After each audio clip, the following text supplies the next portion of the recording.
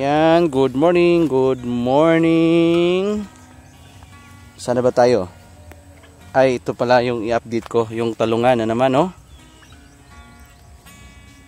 Okay. Tungkol po sa aming paglagay na ng plastic mulch. Yan po ang aming pananim na talong. At naka-recover na. Yan, no? Hindi na kami nag-apply ng mga commercial na abono ngayon so far. Yung ginamit namin chicken chicken manure. Yan tuyo na chicken manure. Walang overdose po yan. Organic. At konting konti lang po yung inputs natin sa capital sa pagpananim pag may chicken manure.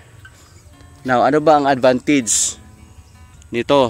Pag naka um, compare namin sa may experience na walang plastic mulch. Ito ito palagi kaming na anong tawag dyan?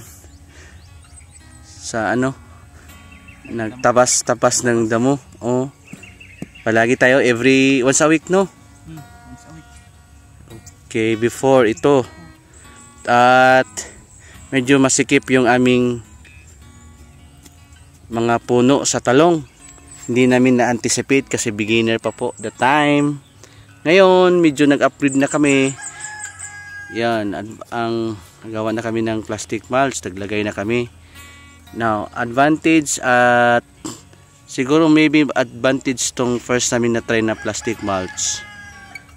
Kasi po, hindi naman natin na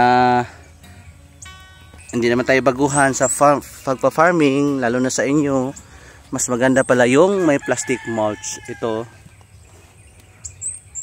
Advantage kasi hindi na tayo mag ano pa ng damo tapas pa ng damo. Except lang sa side at yung aming tabla yung bagsak namin dito sa kabilaan tudling na tawag namin is mas malapad na.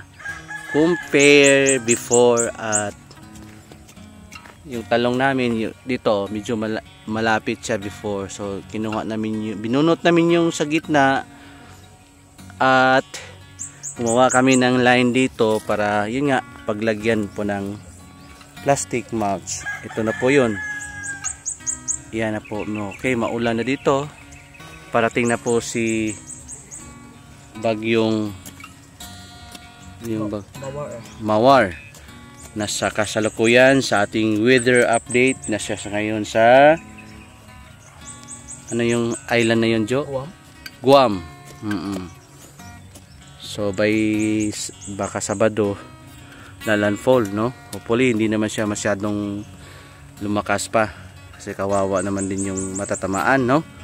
So dito si Mr. J, si Toto, at si ka, saka si Brother Roy Bautista. Yan po yung aming mga ka, mga kakorpo dito. Tulong-tulong po kami. Yan po yun. So bali lima po kami dito sa area. Oh, apat. Sali si Inday, sa kusin si Inday si Lisi, Miss Lisil Vlog. Siya yung tigi ano tigi isang share din yun siya.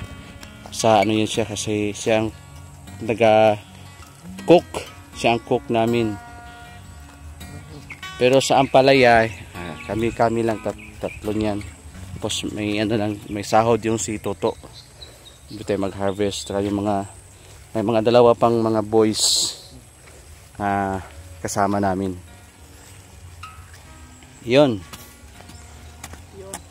Bali ang hatian namin dito less ang aming inputs, expenses at lahat-lahat ng ginastos namin ipapalabas namin at tsaka yun po hati na din po sa kung ano man yung ibibigay ni Lord sa amin na blessings.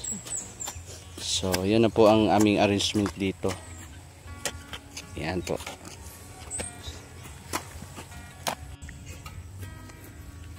sukat natin dito sa ano Jo? 2.5 2.65 2.65 no? Inches.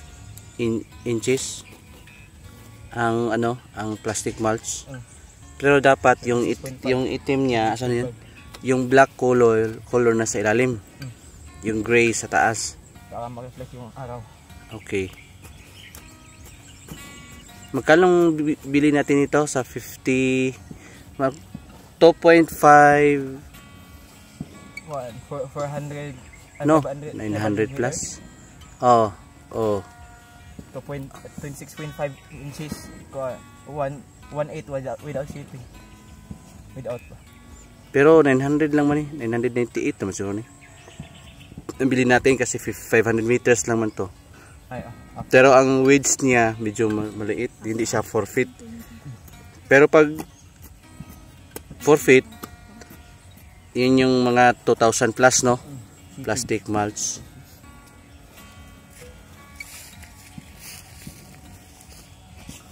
Hindi na tayo naggawa ng clip. Naggamit ng clip no? Wala na.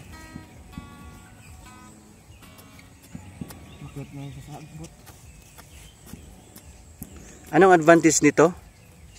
Hindi ka na mag, ano, mag-maintenance ng magtapas ng damo. At ma By the way, yung nilagay niyo dito before is manure. Opo, manure. Ito sa baba, sa lalim. Sige, papakita natin mamaya. Paano nyo nilagay. Pero dapat may linsa muna to, no? Hmm, yung kabila. Ito, no? Medyo kung sa ano pa, hiwi, no? Eh, balik ko.